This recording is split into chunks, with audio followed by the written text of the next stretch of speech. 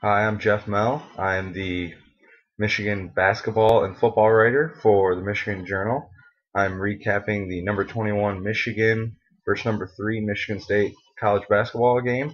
Michigan won 80 to 75, and uh, pretty good game by both teams. First, I think um, Michigan played a well-balanced game from start to finish. Michigan State uh, played um, a little sloppy in the beginning, and then um, really was tough during the middle and had a pretty bad slide going into the end of the uh, second half. Um, Derrick Walton Jr. Um, led Michigan with 19 points, 5 rebounds, and 4 assists. Gary Harris had 27 points, 5 rebounds, 2 assists, and 3 steals. Nick Stauskas also had um, 19 points for Michigan.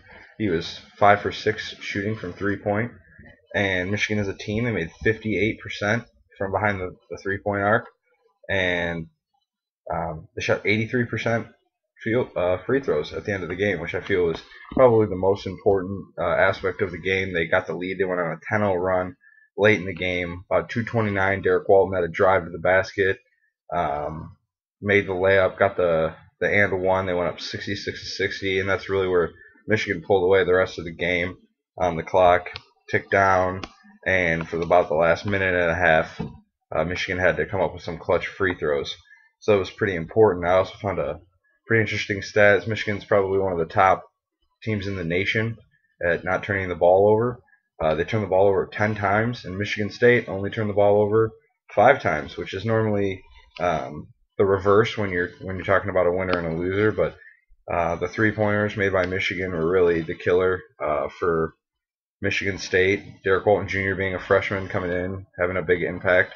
But don't forget that Michigan State was without their main player, Adreian Payne, and one of their big impact players, Branden Dawson. So I wouldn't necessarily say that it was, um, you know, the best versus the best, but uh, it was still a big game. Uh, Michigan State is now 18 and 2, 7 and 1 in the Big Ten, and Michigan's 15 and 4, 7 and 0 in the Big Ten.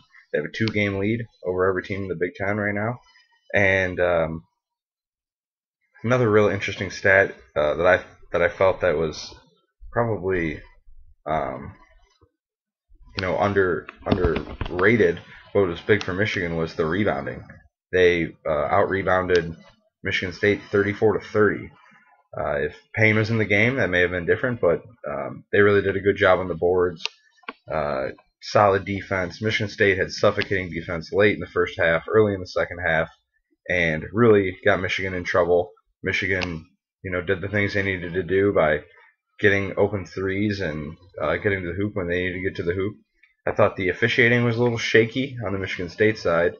Um, Michigan State got a lot of good home court calls, in my opinion, but that's going to happen um, in, in the Big Ten schedule. So uh, it's really going to be important. That's three wins for Michigan against uh, top 10 teams in the last week. So going into the rest of the Big Ten schedule, they look pretty good. Uh, they play Iowa coming up, eh, as well as um, Ohio State. So those games should be interesting.